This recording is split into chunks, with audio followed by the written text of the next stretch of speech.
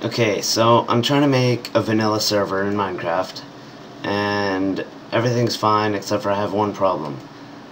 It says Minecraft server.jar, whereas in the batch file that you're supposed to have, um, it says .exe. Uh, like to add more RAM to make it less laggy, you're supposed to have this thing here uh, to put like a gig of RAM into it. But um, so yeah, it says exe, and if I run it, it it says this, like unable to access Minecraft server.exe because it's a .jar, not an exe. But if I were to change that to .jar, it it runs but not properly. See, it opens this little black window, but it doesn't open the white window like it's supposed to. Like, if I were to just run the server as it is, it has this window. It's supposed to open this window and the little black window.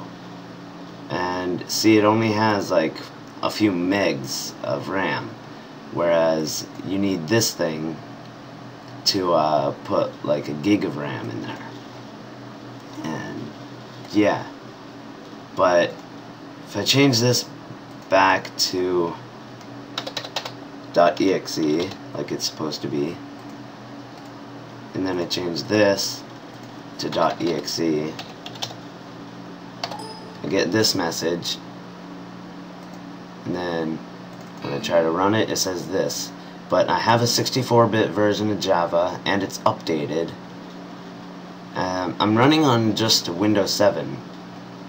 Like just ordinary Windows 7. So it should be working.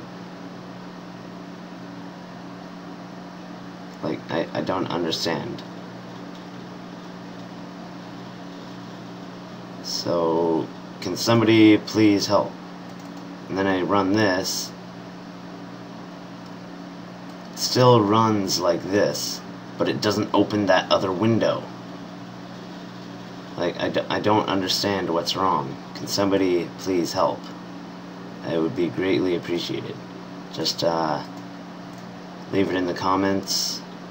And, uh, yeah.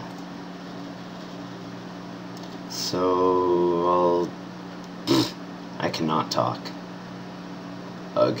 I just woke up, so maybe that's why. Anyway, uh, leave leave your solution in the uh, in the comments and uh, stuff like that. So yeah, bye.